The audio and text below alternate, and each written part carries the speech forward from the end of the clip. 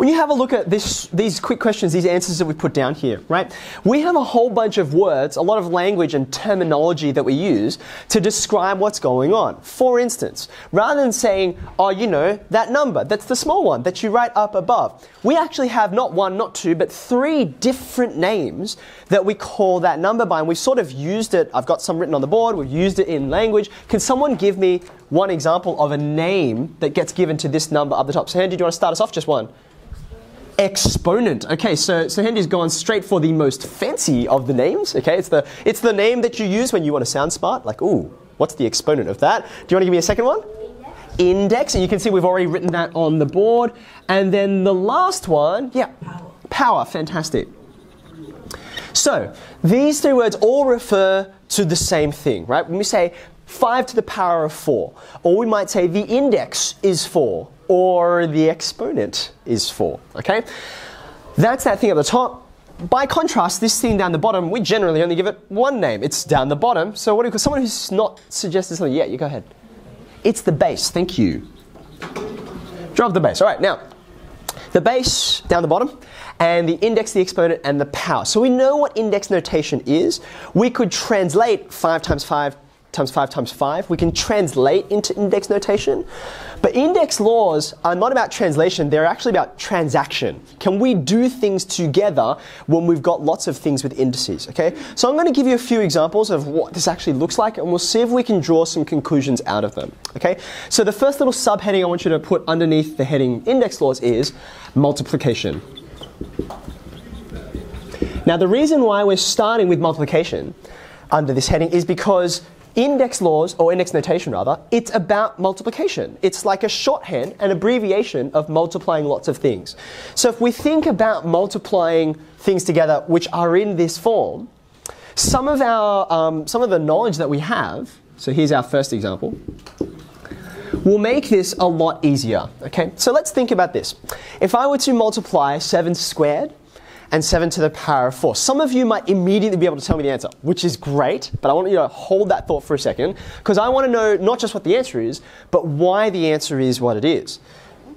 To do that, let's unpack. What does 7 squared, what's in an abbreviation of? Yeah, who, Enoch, you've been very quiet so far. Could you give us a suggestion? 7 squared, how could you expand that? Okay, so the answer, if we evaluated it, it'd be 49, right? And where you got 49 was Seven?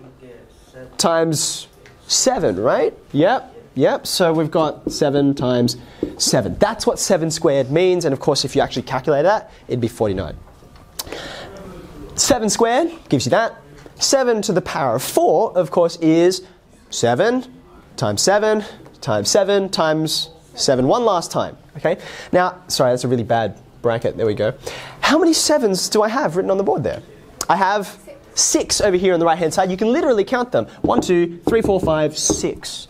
So therefore, my abbreviation for this, rather than writing it all those many times, is 7 to the power of 6.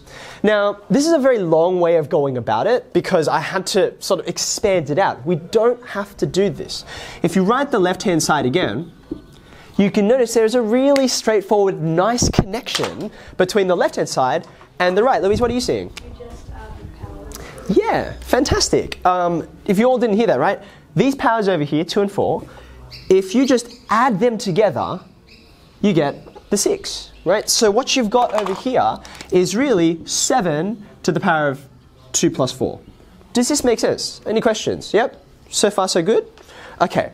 Now, I want you to think about what happens if, example 2, what if you got not just two numbers with the same base? What if you have like a whole bunch of them? For example, let's have a look at something like this. Let's go up to 5. Okay? Now, again, just because we're trying to establish where this comes from, I don't want you just to be able to bless you. I don't want, well, I do want to bless you, but I don't want to just have a, like, there's a property, there's a law, I'm just going to do it like a machine. I want you to know why it's going on. So let's, gonna, let's expand this first, okay? So 3 squared. What does 3 squared mean? It's 3 times 3. Let's write that down. So I've done this guy. Then I'm multiplying by 3 in the middle. And then 3 to the power of 5 is 3 times 3 times 3 times 3 times 3. Can't you see how, the reason I'm doing this to you is so that you sense how wonderful um, index notation is, just such a time saver. But I am going to write them all down. Um, 5 times Okay, now just like before with the sevens, how many threes can you see written on the right hand side? Tim, how many do you count?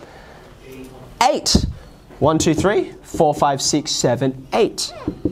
Now, this answer interests me because when I look at the left hand side, and like I just add these powers, right? I got six.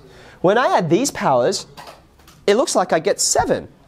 What's what's going on, Merrick? Because basically, um, the other threes have power one. If it's power one, it's just one times three. Right, so see this guy here, right? We wouldn't like normally say, oh, it's an index notation, right? There's no index there. But there is one. It's just kind of hiding, right? It's an index. I'd love you to write this on the second line. It's an index of one. There- There's a single three there. That's why there it is, right?